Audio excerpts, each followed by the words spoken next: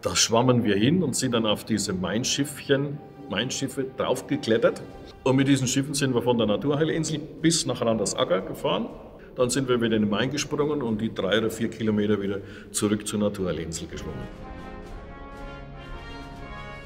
Nürnberg haushoher Favorit. Die Kickers waren im Tabellenkeller und gewinnen dieses Spiel sensationell 3 zu 0. Da erinnert man sich heute noch gern dran, wie wir damals den Club geschlagen haben.